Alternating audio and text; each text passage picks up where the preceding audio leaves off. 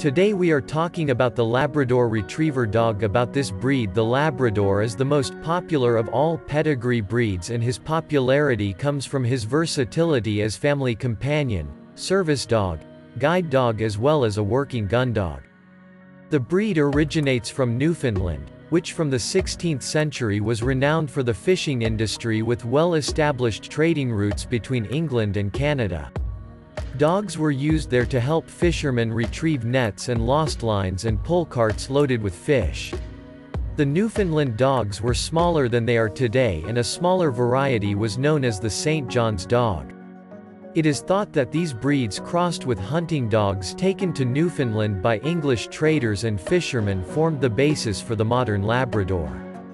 Some of the dogs resulting from this breeding were taken back to England where their retrieving skills were recognized by the sporting gentry.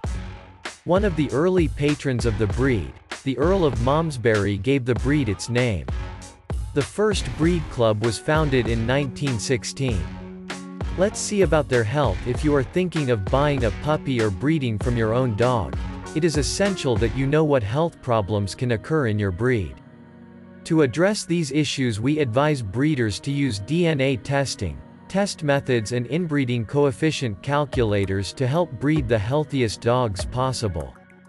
Priority health schemes and tests The Kennel Club's assured breeders must use the following, or equivalent, schemes, tests and advice. All other breeders are strongly advised to also use these. Hip Dysplasia Screening Scheme, BVA per kilo coulomb, Elbow Dysplasia Screening Scheme, BVA per kilo coulomb, Eye Screening Scheme, BVA per kilo coulomb, ISDS.